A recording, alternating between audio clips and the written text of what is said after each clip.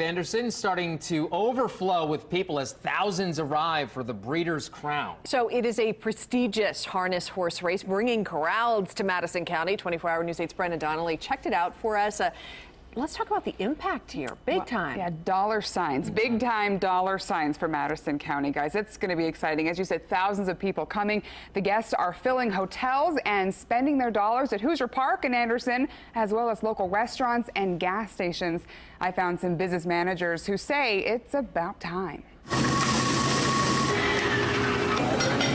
Every seat is full at the Lemon Drop Diner in Anderson this afternoon, but Cherie Titley says she could take in a few more customers. Good day. We've had buses come in before, so and we've handled it, and it's not a big employee base right now, but we tend to get the job done.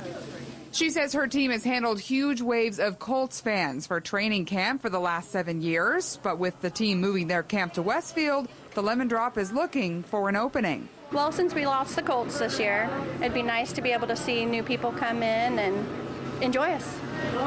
The Breeders' Crown will bring thousands of people to Anderson from all over the world in what's known as the top tier of harness races. What they've been saying since they announced that it was coming.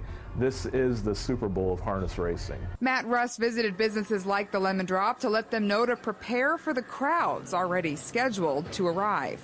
Most of the hotels, I think, if not all, are, are booked now for this weekend. They have been for weeks, months. The mayor says Anderson is especially suited to prepare for this particular crowd of fans. The people here in this community have been used to horse racing for a number of years, not just because of Hoosier Park, but we do have a, a, a lot of horse history here in the, in the community. And uh, so folks are really excited to know that the best of the best are coming here to, to be here in Anderson and Madison County. And this economic boost could be a trend for years to come. Their goal was to bring it here. Now their goal is to bring it back.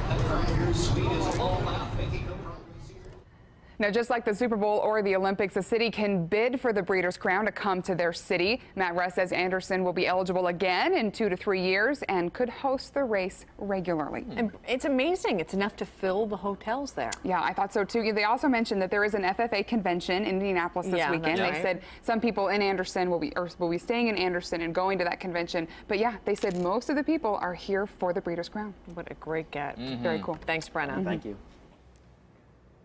Wish TV is bringing you coverage of the Breeders' Crown all this week. The races begin on Friday. They'll also run on Saturday. Uh, we'll have live reports throughout the week and bring you coverage Friday and Saturday night from Hoosier Park.